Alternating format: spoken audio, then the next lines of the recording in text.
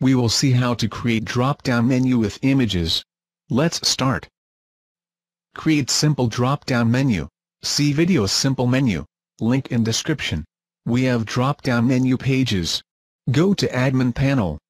Click button customize theme. Select section header. Scroll down to the end of the section. Click button add content. Select link submenu images. Find field select menu item.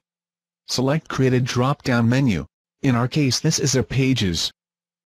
Write drop-down menu title.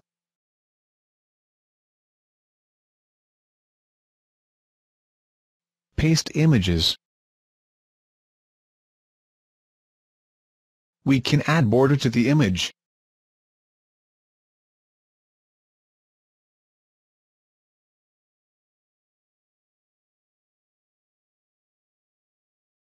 Write comments, like video, subscribe on channel. Thank you.